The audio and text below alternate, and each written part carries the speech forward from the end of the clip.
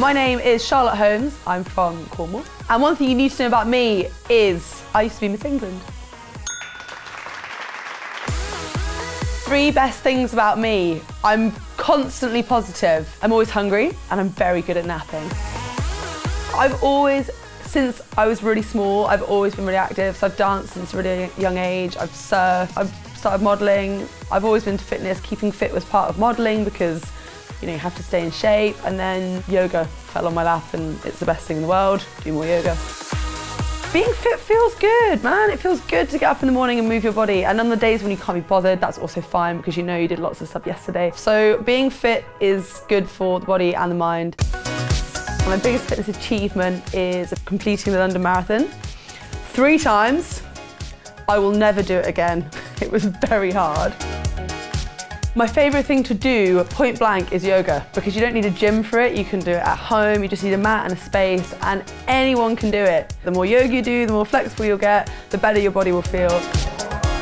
When I want a real intense workout and I really want to up my game, I tend to put Stormzy or something on, but he definitely gets me uh, feeling angry.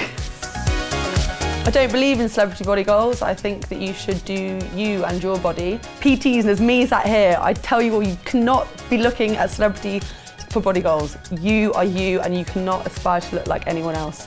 You will only ever look as your best you. No celebrity clients yet, but if you need me, can you put in one of those sparkly tooth blings?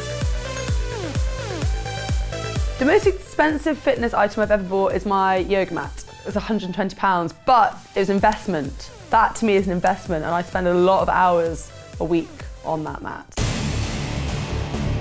Just go, just get up, stop being lazy. I like all food. I don't eat meat, but I eat fish, I like wine. technically food is made from a grape. Right. Three things I always buy. Peas are always in my food shop. Spinach and eggs. Always in my fridge. There's always a pot of hummus in my fridge because it's the kind of go-to thing that you can snack on on toast or with crisps. Mm, and it's just good. A pot of double cream to pour on top of ice cream or warm cookies.